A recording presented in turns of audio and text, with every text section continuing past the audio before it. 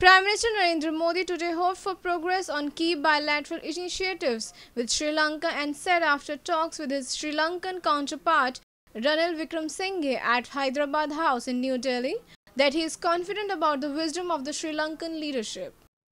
So we are pleased that the government of Sri Lanka has taken a number of significant steps in recent times.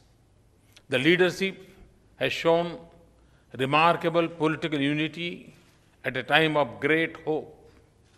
I am confident that with the wisdom and will of the leadership in Sri Lanka and the support of the people, Sri Lanka will achieve genuine reconciliation and development so that all Sri Lankans, including the Sri Lankan Tamil community, can live a life of equality, justice, peace, and dignity in a united Sri Lanka.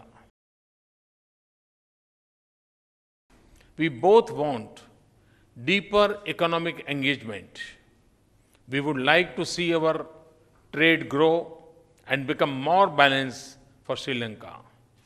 We discuss how we can achieve these goals in a more open and competitive Indian market, including through bilateral arrangements for trade and investments.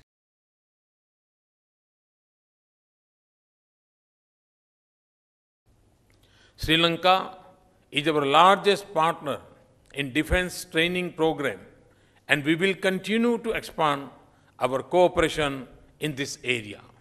Powered by NNIS.